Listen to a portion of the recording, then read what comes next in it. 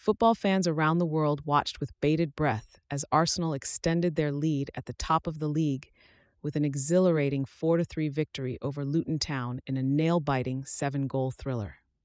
The star of the show was undoubtedly Declan Rice, whose header deep in stoppage time sealed the victory for Arsenal and sent a wave of euphoria among Gunners supporters worldwide.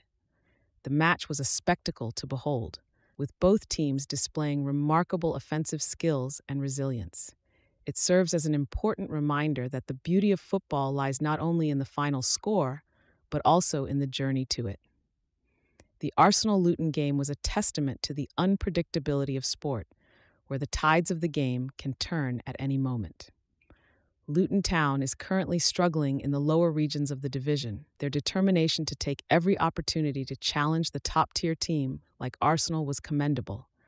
They produced a spirited fight, pushing Arsenal to stretch their skills and determination to the limit.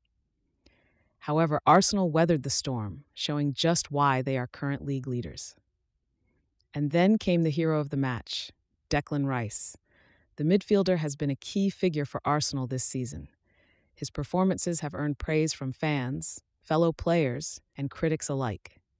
His vital header deep during the additional time reaffirmed his importance to the team and will no doubt be a memorable highlight of his career. This win further cements Rice's reputation as a player with an ability to shine under pressure and rise to the occasion when it matters the most. Arsenal's victory over Luton Town is newsworthy for several reasons. Firstly, it extends their lead at the top of the league to five points, providing a safety cushion and boosting their confidence. Second, it showcases the team's resilience. They weren't discouraged by the stalwart defense and counterattacks from Luton, maintaining their control of the game and seeking ways to penetrate the opposition's defense. This thrilling victory definitely has a significance in the open race for the league title. Being able to snatch late wins is a mark of champions, demonstrating the team's fighting spirit and never die attitude when the going gets tough. In conclusion, football is a game of highs and lows where fortunes can swing on a single play. The Arsenal Luton thriller indeed was a roller coaster ride that left fans at the edge of their seats.